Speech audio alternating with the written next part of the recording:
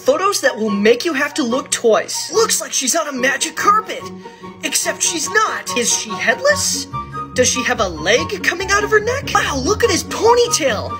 It's not his ponytail. How long does it take you to realize that that's not the kid's face? Is it just me, or does this cat's ear look like it's see-through? I know it's just a thing for coffee, but it makes it look like he's Snow White. You come across this dog person.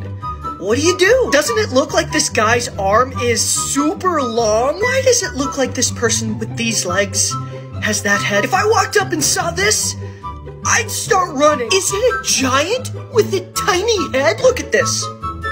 She's floating, right? Bet you thought this was an eyeball. It's not an eyeball. Watch out for that giant bird! And follow for more!